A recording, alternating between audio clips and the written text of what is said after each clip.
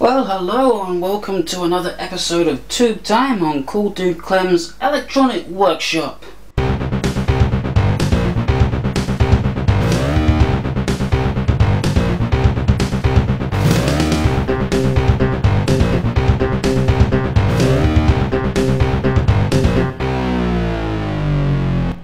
Welcome to Tube Time on Cool Dude Clem's Electronic Workshop.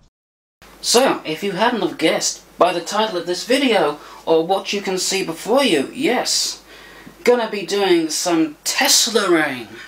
And these are the two cores I'm gonna try. I got this big one here, wound with goodness only knows how many turns of wire. It's actually two pieces of wire put together. There's the join in the middle, I hope when I power this up I don't get plasma spewing out of this little bit right there, but we'll see. We'll see. I'll just put that back like that. Got this other little coil, which I wound from magnet wire. Not sure which one is going to work better, so let's have a look at all the other components. Well, let's uh, have a look at some of the testing gear. Got my meter right here. That's going to be very important for measuring voltages and frequency because it has a frequency counter on it. And here's another piece of testing gear right here, although you wouldn't believe it, a fluorescent tube. You'll see what I'm going to do with this later on. And I think you'll be quite amazed. Also, over here on the left, we've got my oscilloscope. Excuse the mess of the place. But you know, this place, never very tidy. And I've got this long piece of wire coming out from one of the inputs It goes along here and taped onto the wall. So, even if there's no breakout coming from these coils, if the circuit is oscillating, we'll see it on the scope. So let's have a look at some of the other components we got here. Well, got the most important part here, the tubes. Now, I'm going to test these one by one. Over here we've got a GU50, and this one's a PL500, I think. No, sorry, it's an EL500. Now, I know a guy who knows a guy who says, this one will be better for the Tesla coil. Got three inductors here, and I'm only going to use one of these, but I don't know which one is going to work best. I think this one over, I mean, I think this one over here is going to work better, but... Now, this transformer is not for providing the high voltages. I'm just going to say that right away all this transformer is going to do is power up the filaments because the high voltage is going to come from this. And what this is, is a voltage doubler that's going to run directly off the mains. I know, you're saying that's hella dangerous, but I'm Cool Dude Clem, and I live for danger. To prevent any high current surge when I turn this on, Got this little thermistor right here, which is going to be connected in series with the mains. And that will take care of that. Also got a microwave oven capacitor. We'll talk about that in just a minute. And got a couple of other components as well. I've got a 10k resistor here, which I made from four other resistors. Needs to be a pretty high wattage, so that's why I've done four high wattage resistors together, because I didn't have a 10k high wattage resistor, so I just made one out of those four resistors there a 100k resistor terminal strip just in case I need it and a capacitor to couple the feedback antenna to the rest of the circuit. It's about 2.2 nanofarads. Should be 1 nanofarad but I don't have a high voltage rated capacitor of 1 nanofarad. So anyway, there's all the parts. So here you see circuit, I mean, so here you see the circuit that I'm going to do. Um, it's based on this circuit here, except I've added this 1 microfarad capacitor. Now this is that microwave oven capacitor that you saw earlier. Decided to put it after the rectifier because I don't want high frequencies going back into that thing and it might perform a little better this way. Except I'm not really sure about the ESR of microwave oven transformers, I mean microwave oven capacitors. Really not sure about that, so we'll just have to see how it goes. So anyway, over here you can see that voltage doubling rectifier. There's the filament transformer down here. And as you can see, the circuit's very, very simple.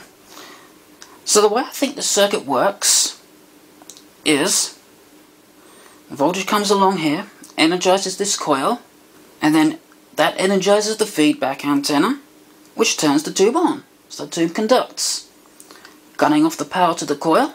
Then of course, because there's nothing here anymore, we get nothing going to the feedback, so the tube turns off, so it's not conducting anymore, so current can now flow into the output coil again. And the cycle repeats over and over and over again, and as it goes into this coil, the voltage builds up and up and up and up and up, until it bursts out here in the form of a little streamer, or a little flame. I've probably confused everybody watching this video, but um, that's basically the circuit. Here's the circuit all built up. And I don't know why, but I've suddenly got another cold. I don't understand it. I go to bed feeling absolutely 100% okay. And I wake up the next day, even if I get any sleep at all, with a terrible cold. Even if somebody on the other side of the world even thinks they've got a cold, I'll catch it. But anyway, here's the circuit all set up. Got my coil here my feedback right on the top of it, a breakout point in case we're getting breakouts. Now at the moment, getting breakouts not the goal. Just want to get this thing to oscillate.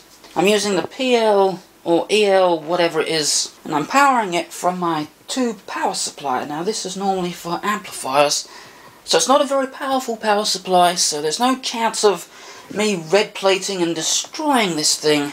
I'm not seeing the filament light up though. No, wait. It is lighting up. Actually, I think there might be some oscillation going on. Oh yeah, yeah, we definitely got some oscillation going on. Except I forgot to connect this wire to my scope. That was a bit stupid of me. But look at this, I can light this bulb wirelessly. Well, this fluorescent light wirelessly. Magic. right, okay, I've dimmed the lights. You can see now, now I've plugged that antenna into the... Oh, the screwdriver's a bit magnetised because that's moving the image on the scope. You can see that the scope is picking up the waveform from this coil, so that's good. If I put my hand near it, we should see the waveform change. Yeah, look at that. Put my hand near. Because I'm adding a little bit of capacitance to the coil when I do that. Okay, well according to my multimeter it's 7.47 megahertz. And for those of you interested in how I'm measuring the frequency, well, I've only got one wire connected to the meter. And that's going up here to the probe, which is just sitting on that thing on my wall. Thought just before we try this with the GU50, I'm going to try it with the other coil. I hope this hasn't welded itself onto the table. No, it's still good. Okay, so I'm going to turn the power on and we'll see how well it works with this one. I'm going to get my fluorescent tube at the ready. Hmm, no sign of anything. Oh, okay. Never mind. Just hadn't warmed up. And I can see a little bit of breakout on the pin there. It's not much, but it's there. It looks like this is going to be the coil I'm going to use because the other coil didn't give us any plasma whatsoever. Now if I turn the lights out we should be able to see that a bit better. Again, I've got no idea how the camera's seeing this. Yep, I was going to say something, and it's just gone right out of my head. Absolutely, completely forgotten what it was I was going to say. Oh yes, yes, I remember we're going to measure the frequency slightly lower with this coil, it's 7.04 megahertz. Let's just see how the frequency changes when I bring my hand near the coil. Goes down to about 5 megahertz. So, this is the coil I'm going to use. Anyway, next test we're going to do is try this with the GU50, see what happens. Okay, now it's time to try it with the GU50. And I think I've killed the autofocus. because it is a thing of evil. I've, yes, I've actually found a way to turn that off. Anyway, the only problem we got here is that this power supply here doesn't provide, well, doesn't provide enough filament voltage because this thing wants 12.6. So, I'm going to use my homemade power supply to power the filament instead. I've got no idea whether it can power the current. And if it's not able to, I am going to shoot myself because I've lost all hope in living. Okay, so I'm going to turn my scope on so I can see any waveforms that might appear. Turn on my power supply. And we might just as well use this coil because this is the one that worked the best. So I'm just going to wait for that to warm up and then I'm going to turn the power on and we'll see what we get. Alright, that should be enough. Let's turn the power on now. Okay, already, I can already see a waveform on the scope. I hope I'm pointing the camera at the right bit here Not seeing any breakout though, which is kind of weird. I would actually get more with this one. And it's definitely oscillating. Might just need to coax it into starting. Okay, yeah, there we go, yeah. So, I'd say the results are about the same. Let's see how this looks in the dark.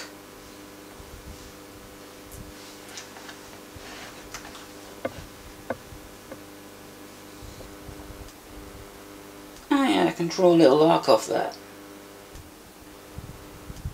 Wasn't able to do that with the other two.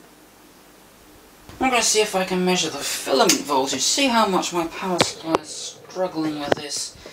Now I've got my meter here, I'm just going to connect that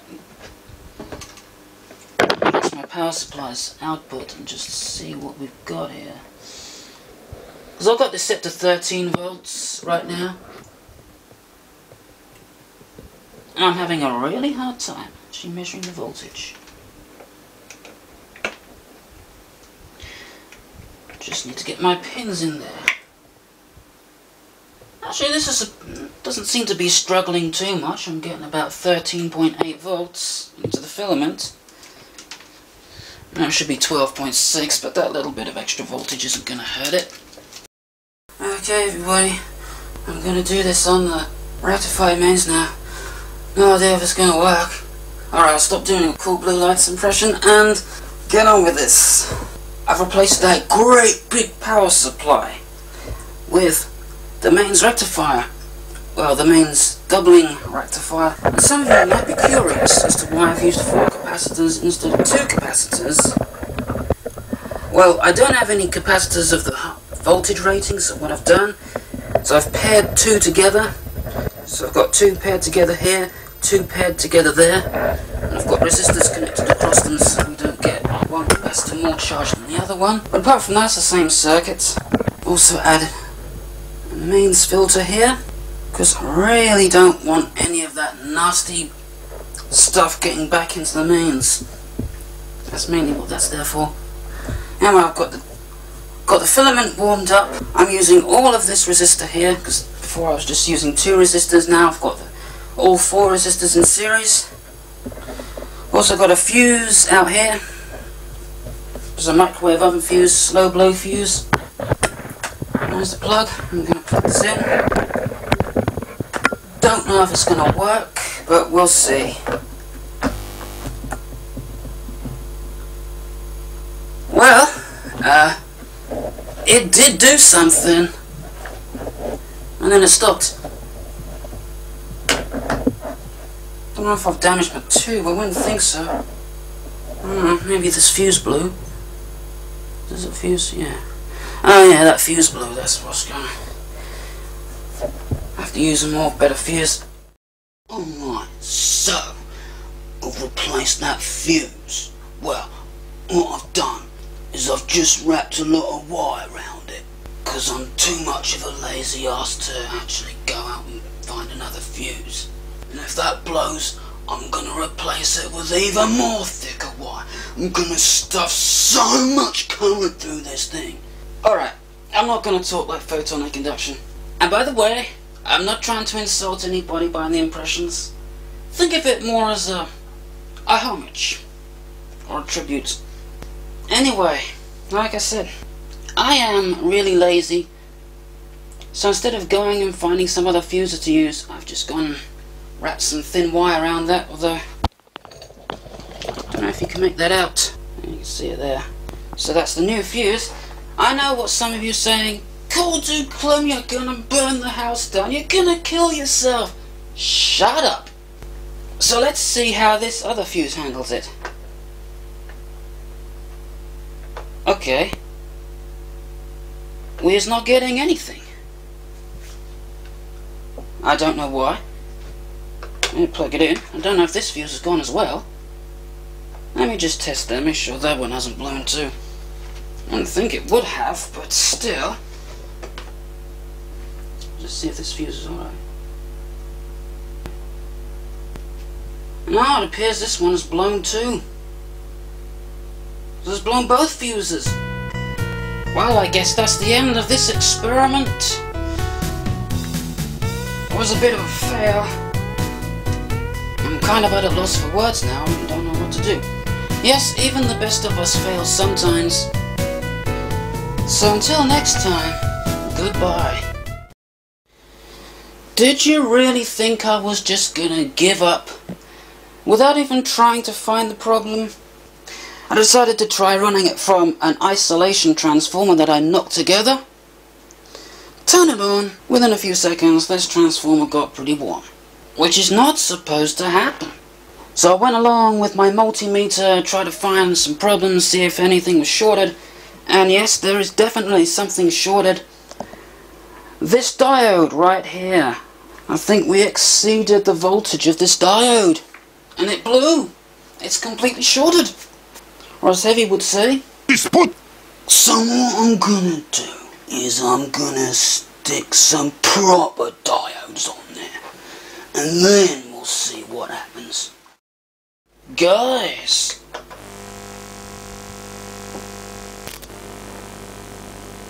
It's working.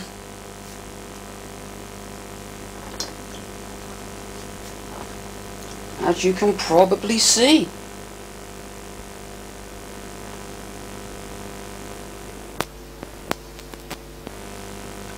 Anyway, I can't run that for too long because these resistors here to power the second grid, they do get rather warm. Actually, that could probably run for a little longer than that. Okay, I'm just about to wrap this video up for now because I'm sure it's dragged on for far too long. Waffling on like I normally do. Now I've done some experimenting with various different output coils and various different inductors and I found out that you really need to match your inductor to your output coil. So what I've decided on is making a variable inductor which you can see here it's just a ferrite rod with a coil of wire wrapped around it. I'm still not getting very much output, but it is adjustable. So I'm just going to show you how well this works as a proof of concept. And then when I've gone and edited this video, I'm going to work on a much better inductor that I can adjust for whatever coil I'm using. And that will be really good. So I'll just plug this in.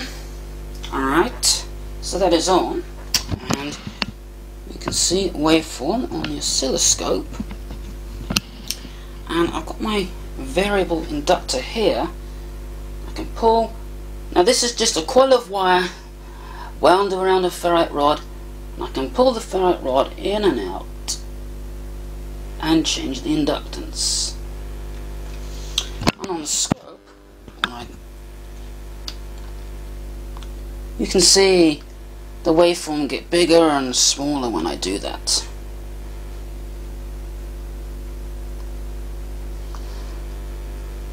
So, so I'm going to make a much better tunable inductor or variable inductor so I can get much more output out of the coil and anyway, that's going to be in another video because I'm sure this is getting long enough already, so yes. As I always say, until next time, goodbye.